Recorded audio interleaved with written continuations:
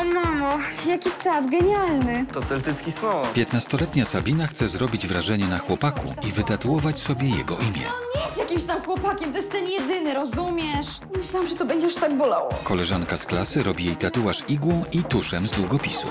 Wychowawczyni gimnazjalistki odkrywa zakażoną ranę. Ale żal. Pogięło was? Trawę jaracie? 16-letni Hubert nie chce, by jego koledzy palili marihuanę. Nikt nie wie, że chłopak sam był narkomanem. Śmiało. To co? Wkrótce licealiści zażywają dopalacze. Jeden z nich traci przytomność. Dzwonię po pogotowie. Pogięło cię? Przecież ty widzisz, że on się piguły. Wolisz, żeby wykorkował? A jak Artek z tego nie wyjdzie? Przecież on wygląda jakby się kończył.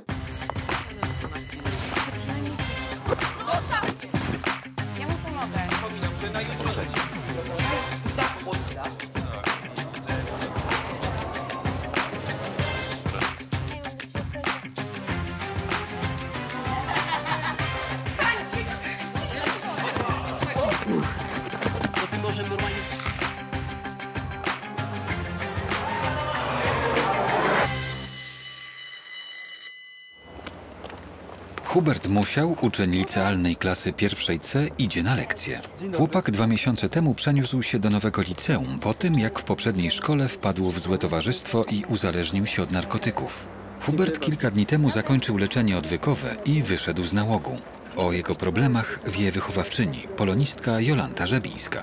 Dziękuję. A powiedz mi, jak w klasie odnalazłeś się jakoś? Tak, tak. Wszystko jest w porządku. No to świetnie, to widzimy się na lekcji. Do zobaczenia. Do zobaczenia.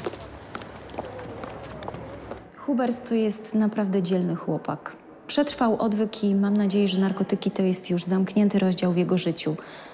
Szkoda, że nie wszystkie dzieciaki, które wpadną w nauk, mają tyle siły i determinacji, co on.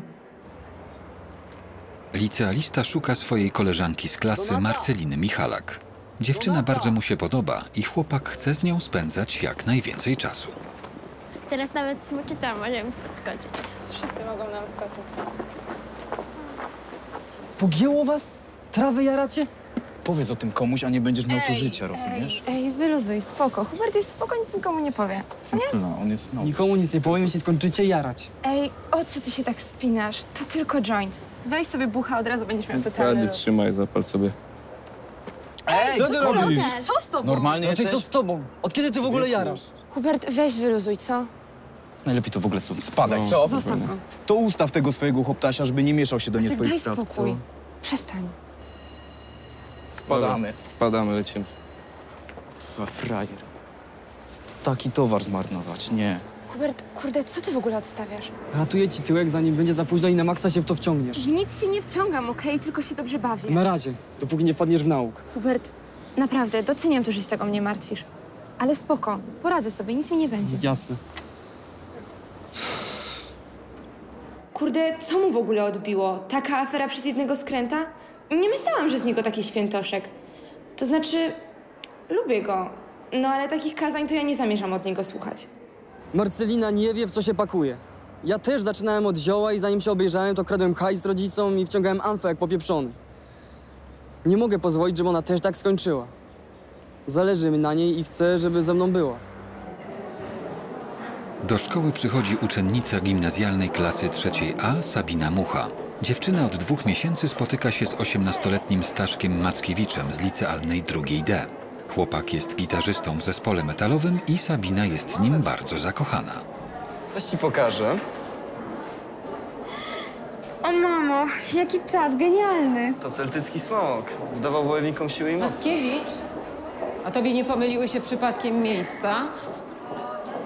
To nie jest plaża, tylko szkoła. Zakładaj tą koszulkę. Ale on mi tylko pokazywał swój nowy tatuaż celtyckiego smoka. A twoim rodzicom też się to podoba? Jestem pełnoletni i mogę robić, co mi się podoba. No zobaczymy, gdzie z tą pełnoletnością dojedziesz. Ale jej przygadałeś. Moje ciało, moja sprawa, nie sądzisz? No tak. Mm, a zagrałbyś jeszcze coś dla mnie? Dobra, zagram ci.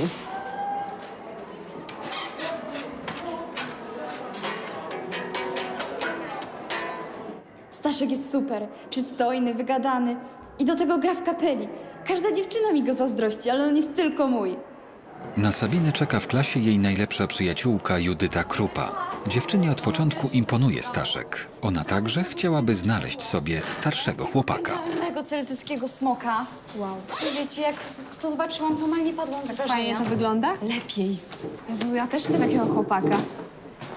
Ale czego ty jej tak zazdrościsz? Przecież on ją zaraz rzuci. Jedna z koleżanek bardzo zazdrości Sabinie chłopaka, dlatego przy każdej okazji próbuje jej dokuczyć. Chyba uważa cię za totalną gówniarę, która musi pytać mamusi, czy może pójść na jego koncert. Jak myślisz, jak szybko znudzi mu się chodzenie z takim dzieckiem jak ty? Zamiast chrzanić te głupoty, idź lepiej zajmij się swoim facetem, co? A sorry, zapomniałem, że ciebie nikt nie chce. Weź się zamknij. Edyta, ale on wcale mnie nie uważa za gówniarę, nie? Naprawdę będziesz przejmować się, co mówi ta idiotka? Od początku szkoły nie może znaleźć sobie faceta i nie może przeboleć, że tobie się udało. Ale ja już sama nie wiem, co mam robić. Jejku, moja mama już nie pozwala mi chodzić na te jego koncerty, a on się zaczyna czepiać o to. Naprawdę? Jezus, napra- wcześniej mi o tym nie mówiłaś, nie? Nie wiem, ja naprawdę muszę coś zrobić. No ale co chcesz zrobić? Może zrobię sobie tatuaż. Tatuaż? No nie wiem. Państwo, kończymy rozmowy. Zabieramy się do pracy. Proszę zmazać tę działalność artystyczną. A sprawdziła pani nasze kartkówki? Tak, sprawdziłam. Licealna klasa pierwsza C skończyła już swoje lekcje. Hubert Musiał, który był uzależniony od narkotyków, chce spokojnie porozmawiać ze swoją koleżanką z klasy Marceliną. Szesnastolatek podejrzewa, że dziewczyna znowu poszła ze znajomymi palić marihuanę i koniecznie chce ją od tego odwieść. Nie wiem, może jakieś dopalacze, trochę amfy. W sumie, czemu nie? No nie wiem, to już jest grubsza akcja. No i grubszy odlot. Czemu mamy sobie żałować? To jest kretyński pomysł. Hubert, co ty odstawiasz? Będziesz mnie teraz śledził? Czego nie zrozumiałeś w zdaniu? Odpieprz się! To ty odpieprz od Marceliny. Bo co? A ty nie daj się mu namówić na żadne dragi, słyszysz? Nikt mnie do niczego nie namawia. Robię to, co chcę. A ty powinieneś przestać robić aferę o wszystko. wyluzuj. Naprawdę chcesz zacząć spać? Spieprzyć sobie życie? Trochę zabawy ma mi rozwalić życie? Hubert, na serio musisz wyluzować. I spieprzaj stąd raz na zawsze, Artek, człowieku! zostaw go! Artek, stąd, przestań! Bo co? Chcesz dalej słuchać jego kazań? Po prostu go zostaw! Frajer! Przestańcie, ej! Spieprzyć życie? Cześć stąd!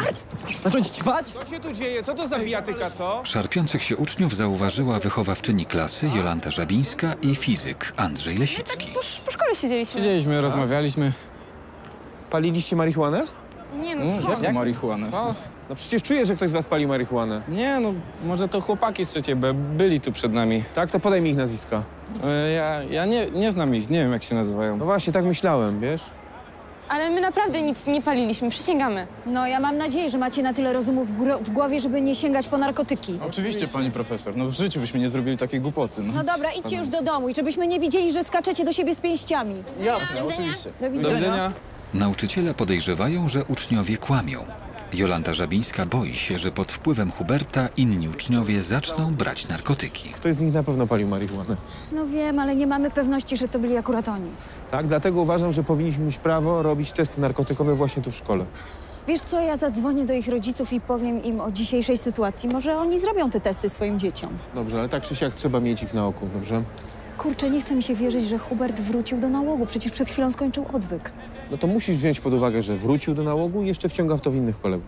No wiem, idę razie. zadzwonić. Mało brakowało, abyśmy wpadli i to wszystko przez Huberta.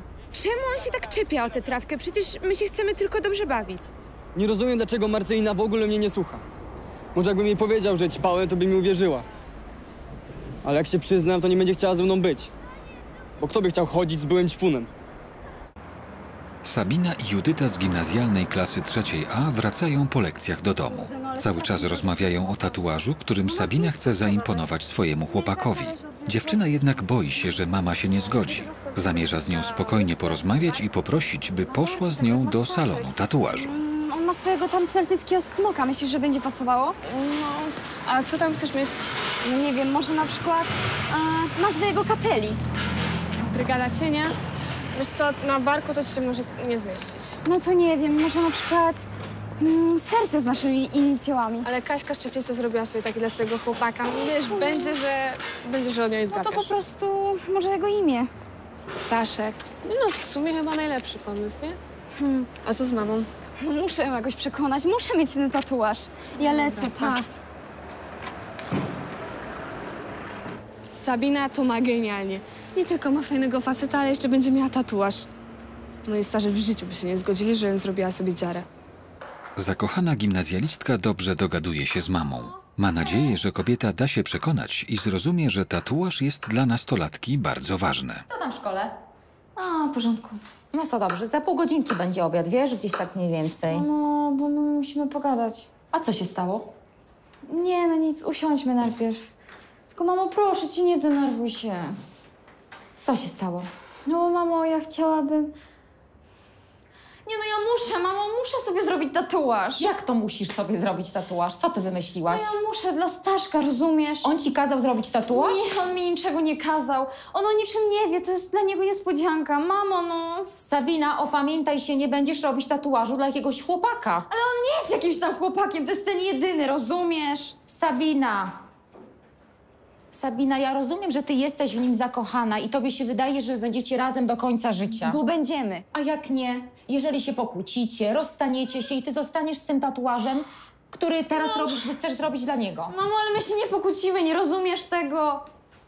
Dziecko, posłuchaj mnie, ty masz dopiero 15 lat. Wszystko jeszcze przed tobą. Absolutnie nie zgadzam się na żaden tatuaż i nie dam ci żadnych pieniędzy. Mamuś, ale ja cię proszę, błagam cię, to jest dla mnie najważniejsze Rozumiem na świecie. to, Sabinka, ale absolutnie nie, nie przyłożę się do niczego, czego potem ty będziesz kiedyś żałować. Super. Gdzie ty idziesz, Sabina? Co ty robisz, Idę powiedz mi? porozmawiać z Judytą. Gdzie idziesz porozmawiać z Judytą? Sabina, No i czego mama nie rozumie?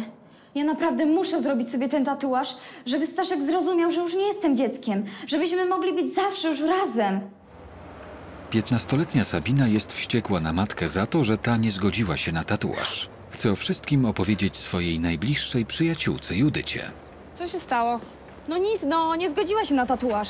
To co? Odpuszczasz całą akcję? Żartujesz sobie? Przecież muszę mieć ten tatuaż. No ale jak ty chcesz to zrobić?